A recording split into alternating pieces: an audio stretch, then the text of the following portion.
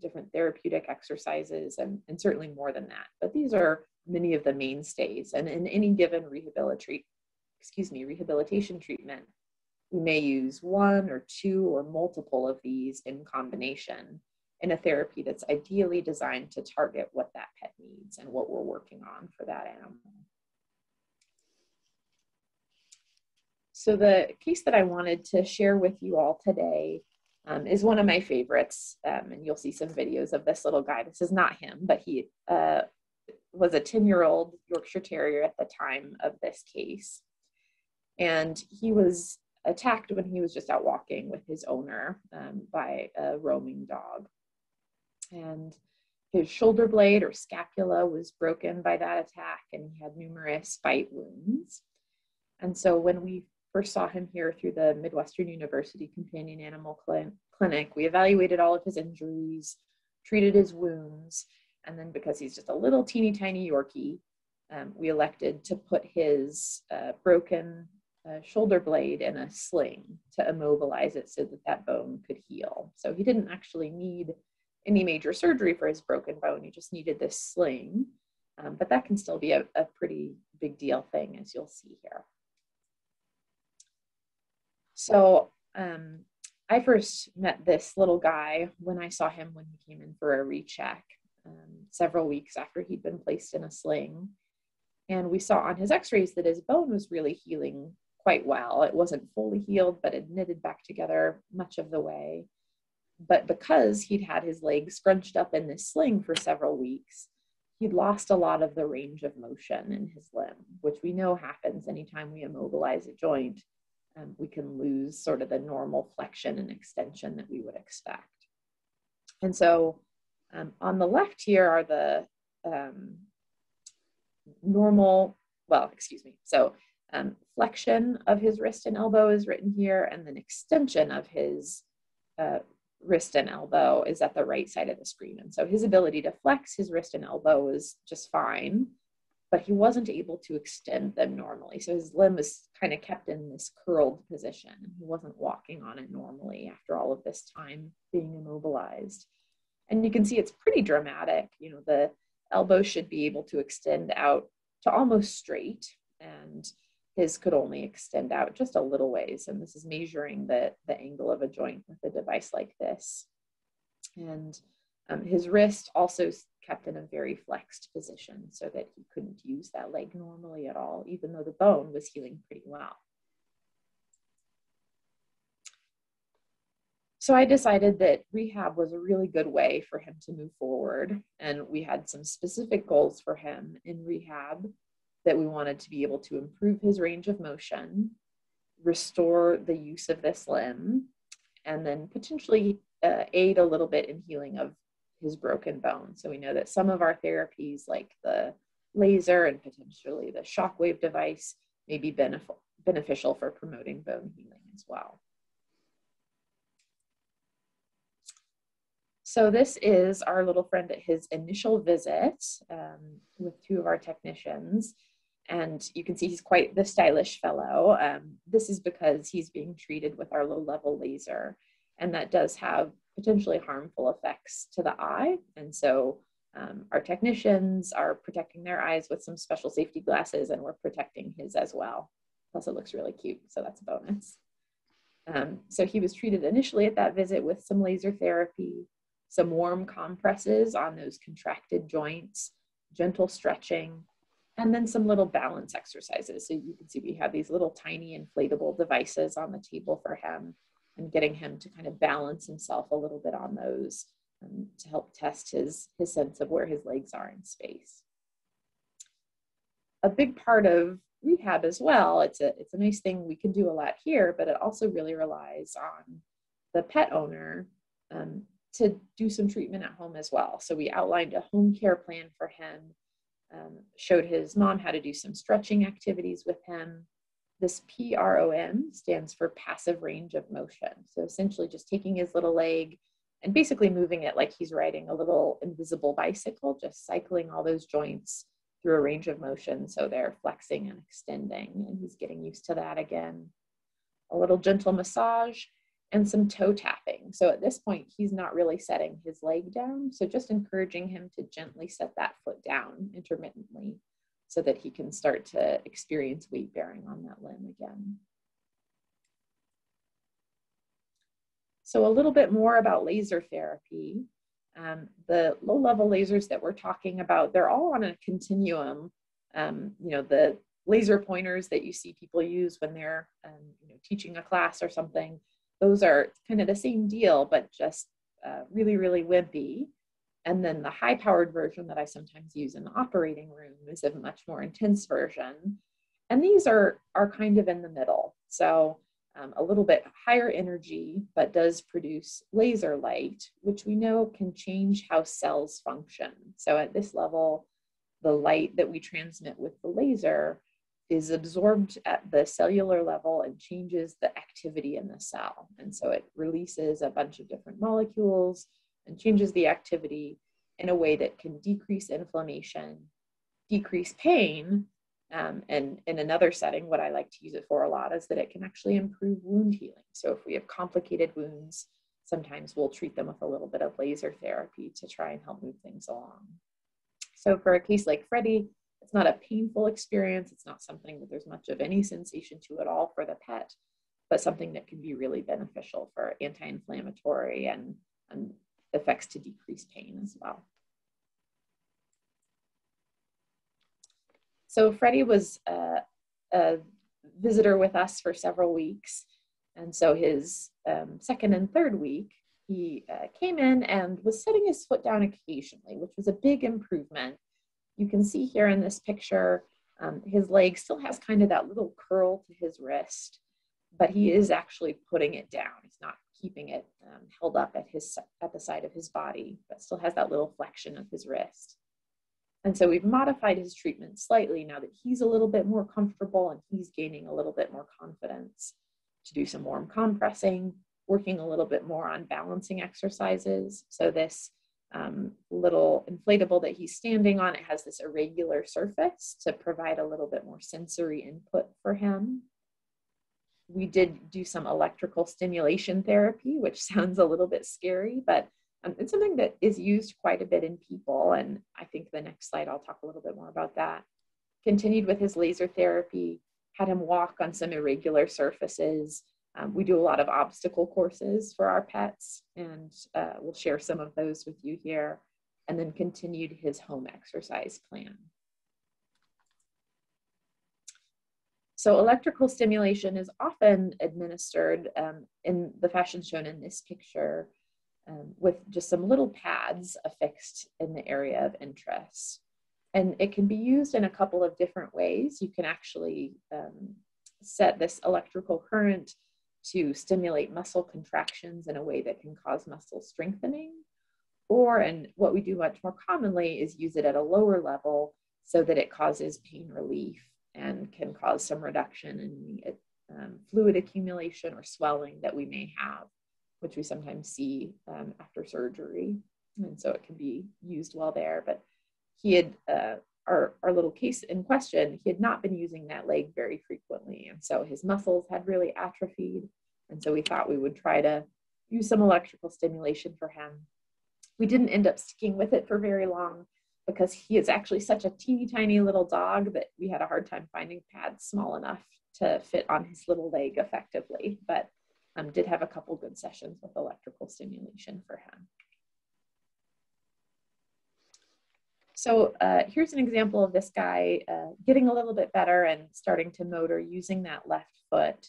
And so you'll see him walk over this uneven terrain, this little obstacle course here. You can note that he's getting more confident, but still is a little bit reluctant to set that foot down. And certainly is pretty ginger on it, walking in sort of an uncomfortable fashion there. And we have his mom set up at the end of the obstacle course, so he's very motivated to go to her.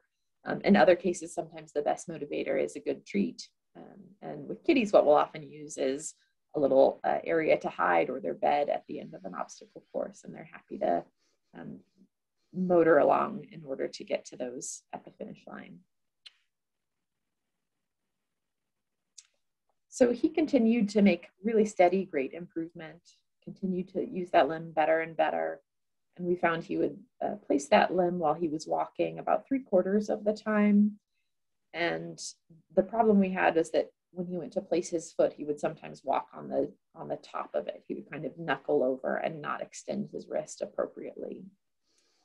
The good news is that he was a lot more comfortable than he had been. It had been sort of a, a painful sensation for him to extend those joints, but that was starting to feel um, just fine for him and uh, made continued progress and ultimately ended up adding in some underwater treadmill for him. So you don't need a whole heck of a lot of water for a guy that little to be able to swim and have a little bit of extra buoyancy, um, but allowed him to start exercising and building up his muscle mass in that leg. So this is our underwater treadmill. Um, dogs and cats are very photogenic in the underwater treadmill, so we enjoy that quite a bit.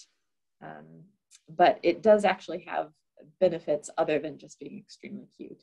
so um, the advantages that we have with the underwater treadmill is that it provides a lot of buoyancy for um, animals to walk in the water. So if there's a painful joint, we can uh, take some of the load off of that pet so that as they're walking, they're not having as much force transmitted through that joint. So it's a great way to allow an animal that's in pain or has painful joints to get a little bit more exercise and activity in a way that's going to be comfortable for them. We also use very nice warm water, and so that thermal or temperature effect can be helpful and feel very good. The hydrostatic pressure or pressure of the water can also help reduce edema and improve their comfort. And then it's pretty good exercise. So it's basically the same principle as, you know, aqua aerobics or that sort of thing. And that walking in water provides a lot of resistance. So it's a good way to develop uh, strength in an animal that's trying to build back some muscle. And so we do use it for just a good low impact exercise, low impact on the joints, for reduction of edema or swelling in a limb, or in an animal that has an altered range of motion. So, like Freddie, if their flexion and extension of the limb isn't normal, this can be a good way to get them to move that leg a little bit more normally. So this is a few weeks on, and here's one of these uh, obstacle courses that I promised you.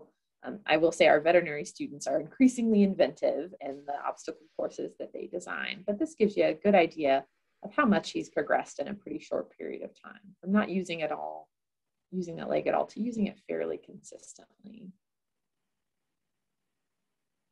He's got a team of cheerleaders the whole way along. You can see he's setting that leg down. He's still a little bit ginger on it, but doing very well.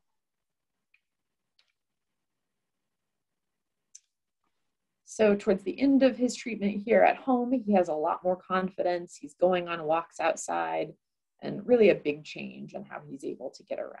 So we maintained a lot of our, our same exercises and treatments, warm compressing, stretching, balance exercises, our obstacle courses or floor exercises, um, and using some treadmills going up and down ramps, again, trying to build up his strength and build up his confidence for walking in, in different settings and not just going the three legs. Dogs are a little bit tough because, um, you know, for humans, we really rely on both of our legs, but um, dogs, we joke sometimes they have three legs and a spare because if one's bugging them, they'll just pick it up and, and motor around on three legs. So we really want this patient to get back to using all four of his legs with good confidence and comfort.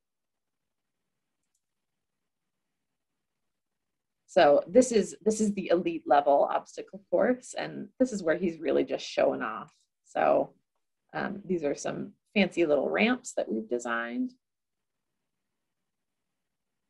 Needs a little bit of encouragement, but then he picks up speed right away. He's delighted to be uh, cruising along there, making great progress. And then right to mom at the end. So overall for this patient, he had a couple of months of rehab and did have an excellent outcome ultimately. Um, and I would really attribute that to his mom, who's incredibly dedicated to him um, and did a great job with his home exercise program.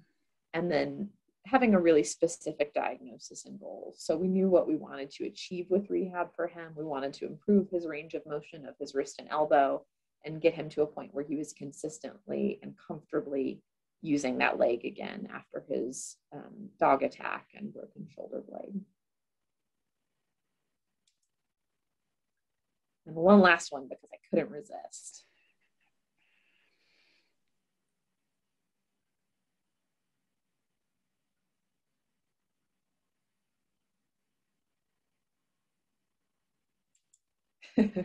so he has a whole uh, cheering section, which is not at all unusual, um, and had a really great outcome. So just a nice case to share there. Um, I often get the question, what about kitties? So it's easy enough to get uh, dogs to go in water and dogs to do an obstacle course. Um, but what can we do for, for our feline patients? We do know that pain and lameness is underappreciated in cats in general. So arthritis is much more common in cats than we tend to diagnose it. And, and we miss it so much because um, cats are a lot less active, obviously, than dogs. Very few people are taking their cats uh, out for a walk in the neighborhood. And cats are um, much more private about discomfort. So they tend not to obviously show off, oh, pardon, uh, tend not to obviously show off that they're in pain. So, what we may notice with them is just that they are not um, as active as they used to be. They may not choose to jump up and down on things as much. We may see changes in their grooming habits. So, it can be very subtle. But the real question is is rehab a reasonable option? And what I would say is maybe not for every cat. There are some cats that would be um, pretty scared by it. But I think remarkably, a lot of cats do very well with rehabilitation. We take it slow and make it a welcoming environment. Um, and I'm going to share my one of my very favorite kitty patients ever.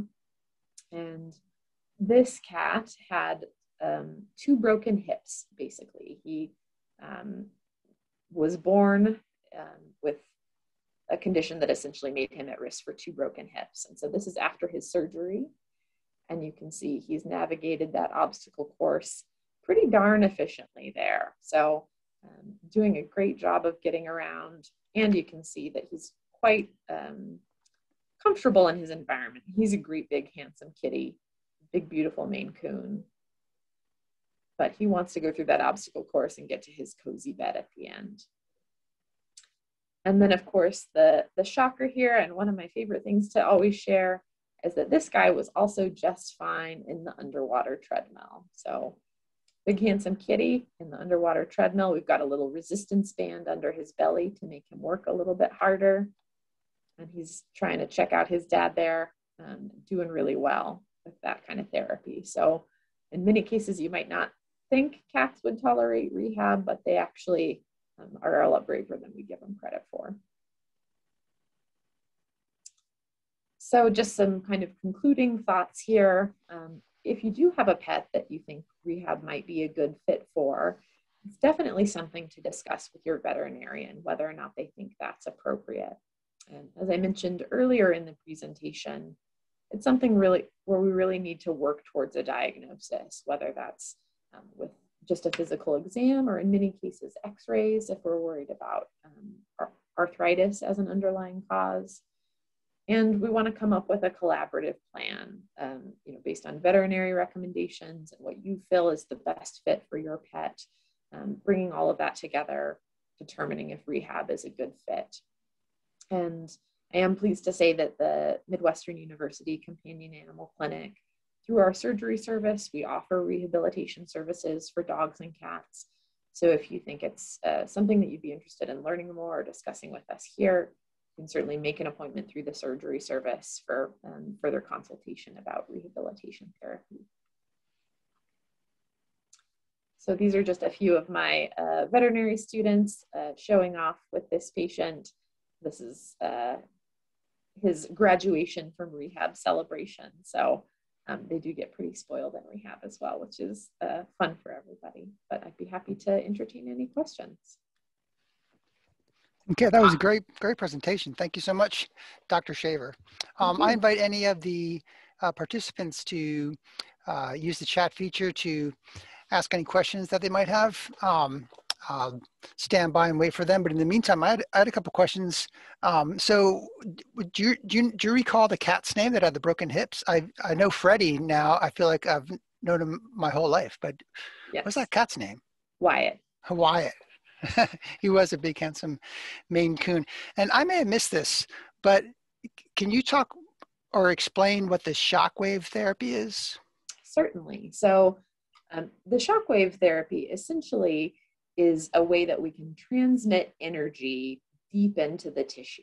And so, basically, that transmission of energy can stimulate changes at the cellular level that promote healing. So, in particular, it can be good for bony healing if we have a broken bone. Um, we didn't end up using shockwave um, with our, our little star performer here, but um, it would have been a reasonable option if we'd had a hard time getting his shoulder blade to heal. Um, and that it can stimulate those little bone cells to proliferate and improve the healing process. So it's a, basically a um, using energy to stimulate cellular activity. Okay. Thanks for that explanation. I appreciate it. So we did have a question come in. Uh, one of our viewers wants to know what is the most memorable experience you've had with a pet in rehab?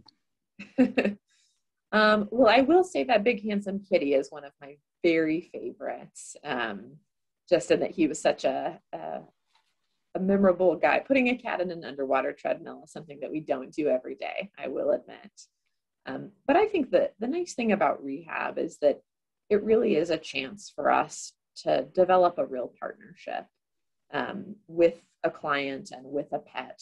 And the thing that I think I like the the very best is that I would say 99% of our rehab patients are delighted to come to the hospital. And I don't get to see that all the time when I have, you know, a patient who's coming in for surgery, they're not used to it, it's a new environment. But because we do tend to see these guys fairly routinely for some number of weeks, this becomes a very happy place for them. And so, as a veterinarian, it's a real treat for me to see them to love when they love to come to the hospital. And uh, that honestly never consoled for me. Okay, great. Um, another question from that uh, same viewer is this I showed up a little late, but is there a bridge from human physical therapy to veterinarian physical therapy? absolutely it's a it's a great question and i'll uh, you know touched on that very briefly earlier but definitely this is sort of the analogous um, counterpart with animals compared to human physical therapy um, the caveat there is that i am by no means a physical therapist nor do i have that level of expertise compared to a human physical therapist where they do their own degree program and have um, a tremendous amount of knowledge. But this is sort of the synthesis of some of those um, modalities and approaches that we are the beneficiaries of in human physical therapy, plus the high level of knowledge I have as a veterinarian about anatomy, physiology, and the injuries that can happen in dogs and cats, and sort of the blending of the two. So interestingly, the, the courses that are out there that are taught in canine rehabilitation typically are open to uh, human physical therapists and physical therapy assistants, as well as veterinarians and veterinary technicians, because it is a great way in which those professions can really come together to provide a service to people and their pets. Okay, great. Thanks for that. Uh, another question came in. I'm not exactly sure what uh, the viewer is getting at, but, but maybe you can kind of uh, tease it out. The question reads, um, how do we put pets on water or in water to relieve pain? So I don't know if it's, you know, getting at um, maybe the, uh, the, the, water therapy you're describing, but maybe you can talk about how, how that process works and um, how that may or may not relieve pain in a pet.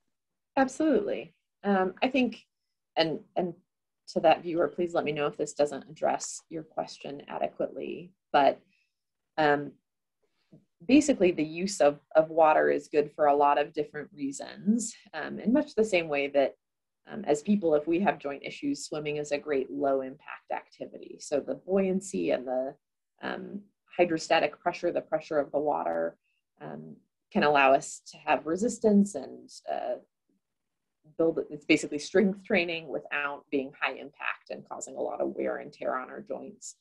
The same is true for pets.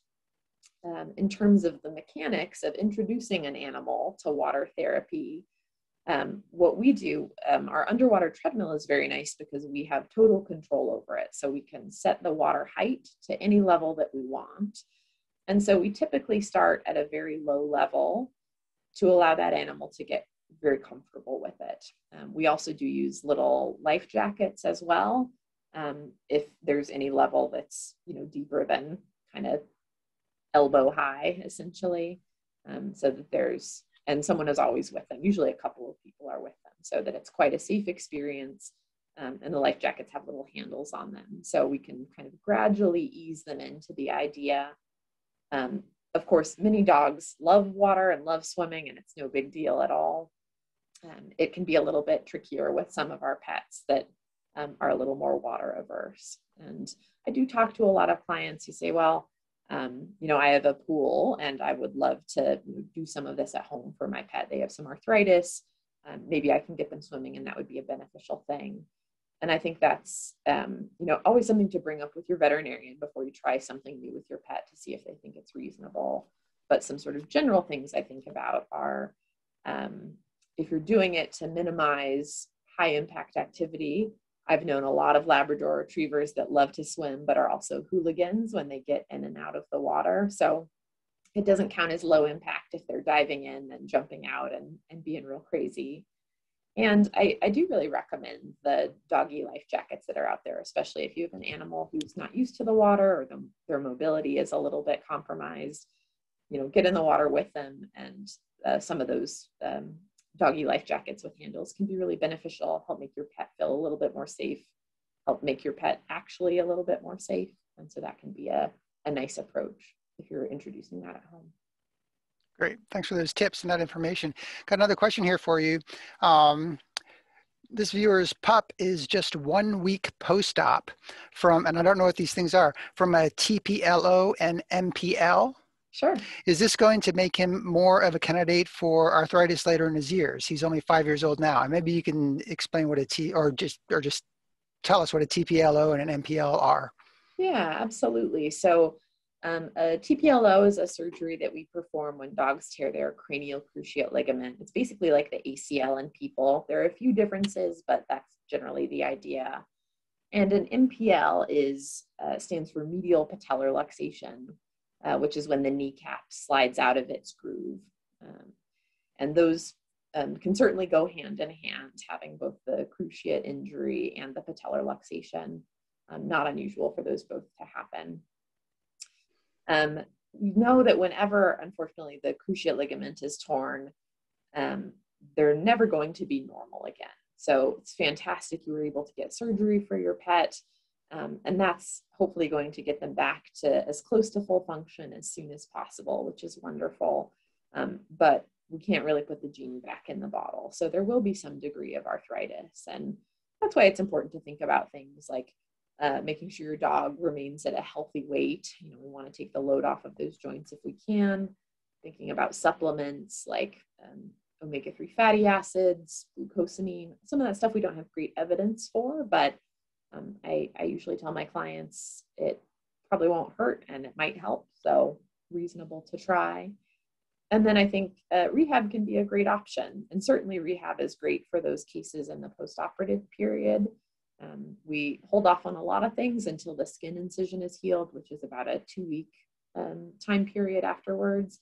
But even during that time, we can use uh, laser on the surgical incision, which can help it heal up and decrease the local inflammation do some stretching, some hot and cold therapy, and then gradually sort of ramp up, much as you saw we did with the case I presented. Great. One viewer um, had this question. As someone who is interested in rehabilitation, is there anything you recommend to start getting involved with it? Um, I think it depends a little bit on your background. Um, if the if the main background is uh, dog owner and lover, which I certainly relate to.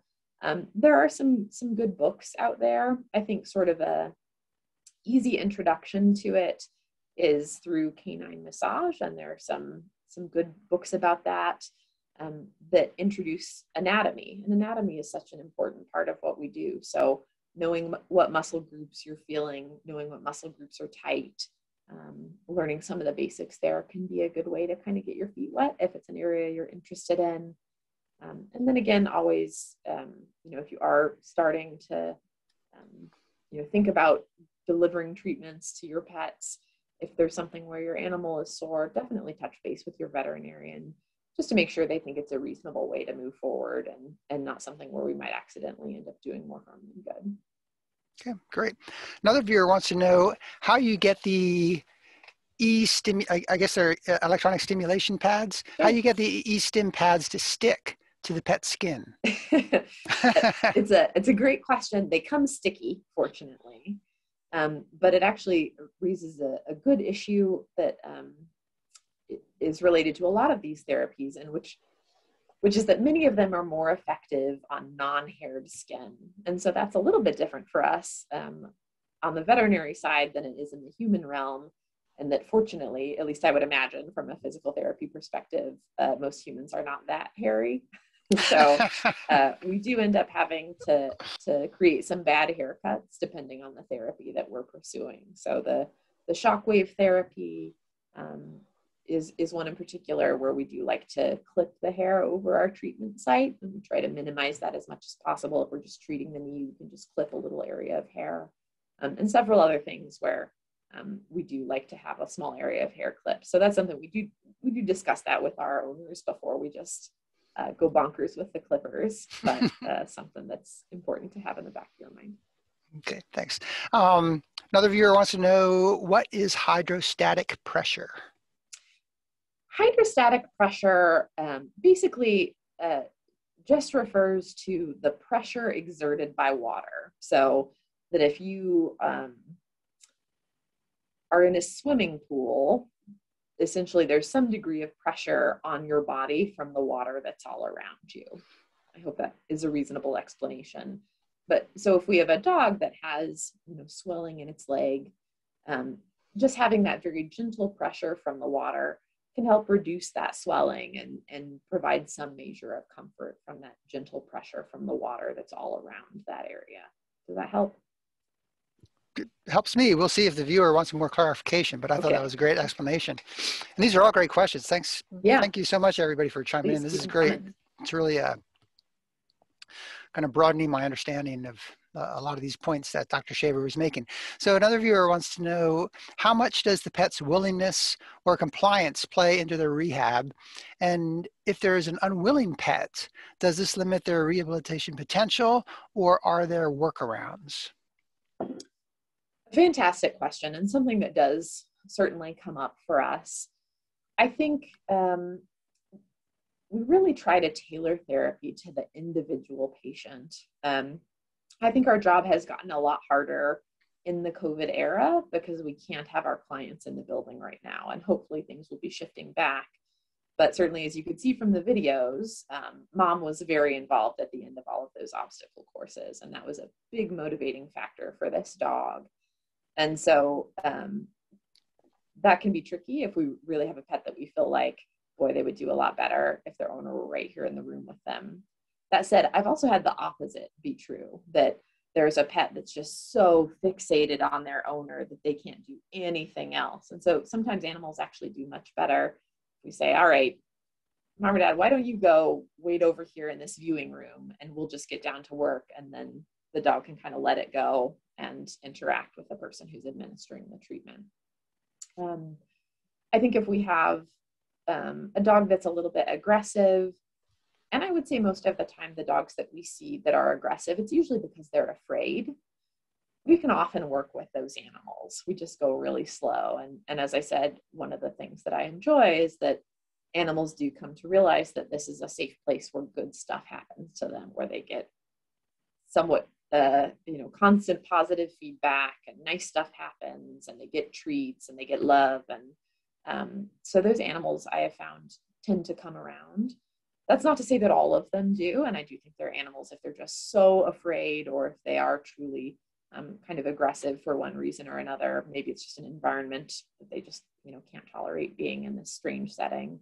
There are some animals for which rehab is, is not a good option and you know, we're usually pretty upfront about that, whether we think it's worth trying or whether it's just going to be, um, you know, stressful to that pet and potentially dangerous for the people who are involved. So certainly not um, 100% applicable, but we try to kind of realistically assess it and, and see what workarounds we have. Okay, great.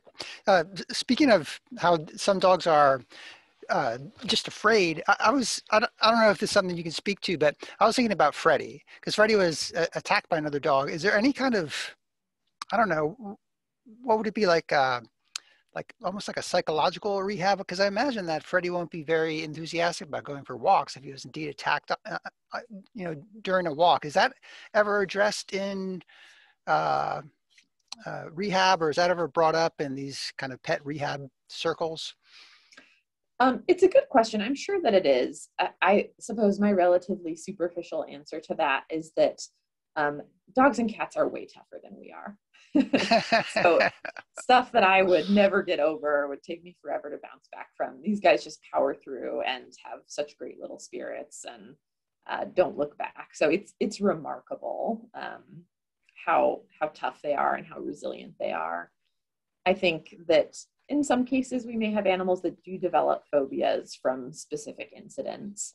Um, I, I don't know um, how this little guy really, you know, interacted with other dogs or if he was afraid of big dogs or um, kind of how that evolved for him. But I think um, it's certainly a, a, reasonable concern or thought to have. And um, in many cases, I think rehab can be beneficial for a lot of dogs and just that it is in many ways a positive socialization ex- experience, experience, excuse me, that they're um, you know getting out of their home environment, coming to a place that's new and different with new and different people, and learning that that is positive, and that can be very helpful for a lot of pets. Sure, sure. Okay, one final question, and not exactly where we're going with this, but actually another one just popped up, so we have two. But but after a, an animal is injured um, and, and sustains an injury, how I, I, guess they're asking how the, the question reads how does midwestern university use cats and dogs for physical therapy after the injury? But maybe they're getting at you know how other how is midwestern uh, contacted? Do you have regular veterinary services just like you would um, uh, you know maybe have a private veterinarian? Um, do you just provide rehab service services after uh, a dog or a cat receives uh, maybe a surgical procedure from an outside vet? Maybe those are the kinds of things that this viewer is uh, this viewer is getting at with that question. Sure. Uh, thanks for that. I think um, we do have a, a, full service hospital here basically. Um, our companion animal clinic does have a number of primary care doctors who provide sort of um, what most people would think of as uh, routine veterinary care, so wellness appointments, vaccines, things like that. And then we also have specialists who provide um, different, more advanced kinds of care. So for me, I'm a surgeon, so I do, um, you know, anything from uh, cancer surgery to um, re- repairing broken bones, things like that. And and the rehab service sort of falls under the purview of the surgery team. Um, we have internal medicine specialists, neurologists, um, so quite a lot of different things that are offered here. Um, if we have patients who are seeing our primary care service, we can certainly work with them to see um, if they are good candidates for rehab. Um, and then we're always happy to um, take referrals from outside as well. We typically do have those come in through our surgery service. Even if you know you are really just you're not you're not coming for surgery, we get it. You're interested in rehab um, just because we are the veterinarians who oversee that. So um, set you up for an appointment with the surgery service just to make sure we're on the same page, um, establishing kind of what our goals are, like we talked about with the presentation, and making sure we have a firm diagnosis of what it is that we're hoping to treat and accomplish with rehab. Great. Got a couple more for you. Do you find that most of your patients are motivated to do rehab, or is it usually uh, challenging to motivate them? I would say uh, the easiest patients for us are the labs because all you have to do to motivate them is get a treat. And that is quite simple. So that's very nice. That makes our jobs a lot easier. Um, I think a lot of uh, pets are also very motivated by, um, you know, praise, some of the, you know more working working or herding dogs you know they're they're problem solvers. They want to get it right. So they like the idea of an obstacle course that they have to figure out you know they're they're thinking about it a little bit more. So the motivation may be different um, but we try to figure out what that is. So whether it's praise whether it's being with the owner whether it's a treat whether it's solving the problem um, figuring that out can help us deliver more effective um, treatment to them. I think in many cases they're just sort of confused by it in the beginning and there's a lot that we can do that doesn't really require too much engagement from them so we do tend to start with the more low key interventions so laser stretching um, icing stuff that's um, kind of comforting not scary doesn't involve them going over ramps or getting in an right. underwater treadmill or doing a bunch of bunker stuff so we, we tend to crescendo with what we do and and go at the dog's pace. Okay, great. Uh, next question is interesting. It has to do with cost.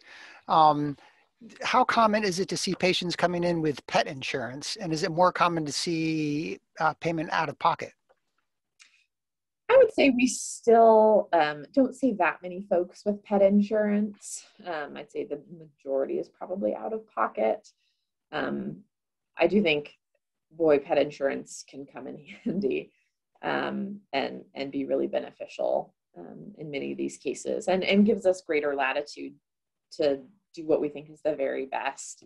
I think as veterinarians it's something probably that most people don't really think about for us but we are as a profession constantly trying to find the most cost effective way to do something because we want to help the pet as best we can but we also know that at a certain point most of our clients didn't win the lottery last weekend. So we're constantly trying to, you know, kind of strike a balance between those two things. And that can be really, really difficult. Um, so having insurance makes us a little bit more like our counterparts in human medicine, where they can say, you know, this is the best thing for this patient, and that's what we're going to do, which we less commonly have that luxury. So um, in this instance, you know, it for rehab and multiple visits, it is really nice to have um, pet insurance as, as something that's on the table because it lets us really let our patient be in charge and, and pick the best possible treatment plan for them just based on them and not anything else.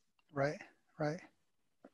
Okay, got another question for you. How common is it to see patients? No, wait, did we just read that? Oh, I'm sorry. This is this is kind of an add-on to that prior question. Is it difficult to justify treatments to insurances as it can be with humans?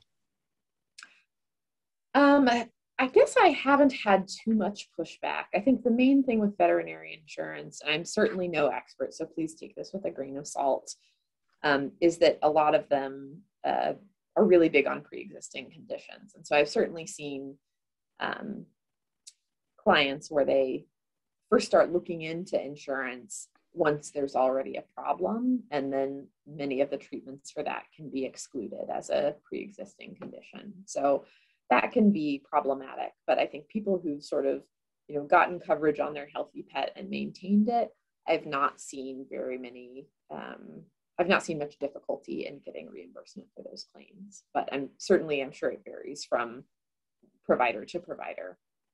Sure i imagine it does Okay, great questions. I'll give it a, a minute to see if anybody else wants to, to chime in, but um, just wonderful questions, a great discussion. Appreciate that.